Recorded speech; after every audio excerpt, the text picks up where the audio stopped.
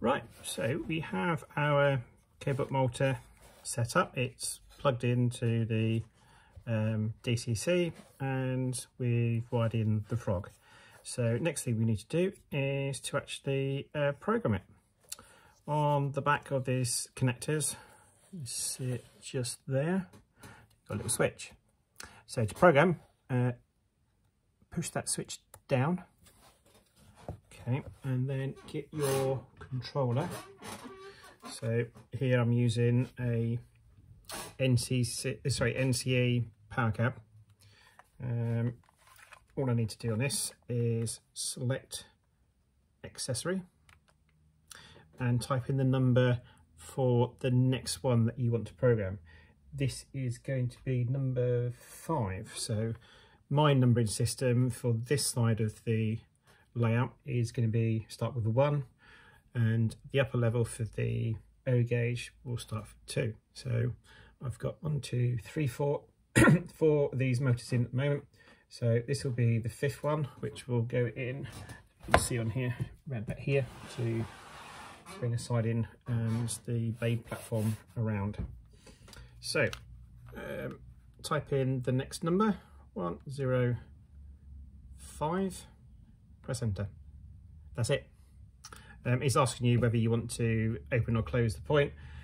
You don't really need to on this, so you can press either one or two because it won't do anything. Press one and it goes back to zero uh, back, back to normal display. Now, uh, when you come to actually want to uh, activate the point motor and get it to turn, put it there so you can see. Um, select accessory again. It remembers the last one that you used, one in five. Press enter and then select one or two. And it didn't work. So why didn't it work? Okay, let's try that again and do two this time. No, nothing. So we've got problems somewhere. Possibly it's to do. Basically, I jerry rigged it together so that um, I could test it before I put it into uh, the baseboard.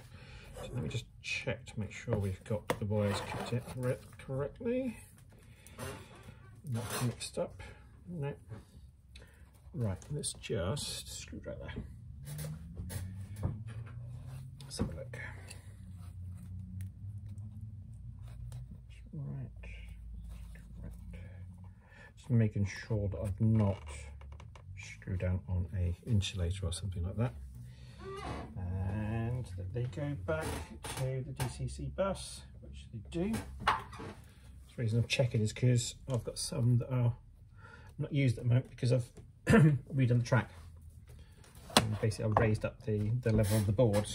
So I'm in the process of redoing the track, hence why um, track's going back down again and point motors are being installed.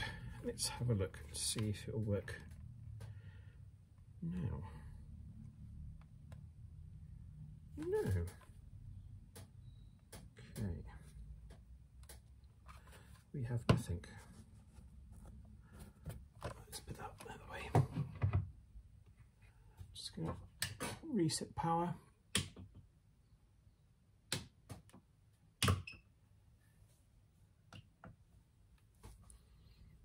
Shouldn't have caused any issues, but let's have a look. For it boot up. Oh, I know what I've done. what you need to do is the switch, you need to put it back up again. Otherwise, it's going to stay in program mode. Right, here we go. So we'll try again. Select accessory, uh, 105. Because I've turned it off, it won't remember the last one. Press enter, and then one or two. There you go, it's working now. So just remember that once you've programmed it, you need to put the switch back in the normal position. Um, we'll try the other position on the motor. And there you go, it moves back across. What I'll do is I'll try and do it so that you can see it working. If I hold that like that,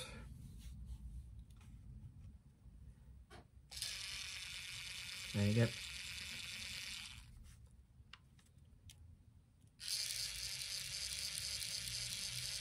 And there you go, it's done. Simple as that.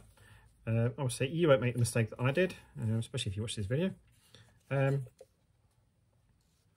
and uh, you'll find it's um, easier than it looks. Right. Right, that's it for this video. I'll do another one a little bit uh, about um, potential problems that you may you may find um, with these. Until then, see you later.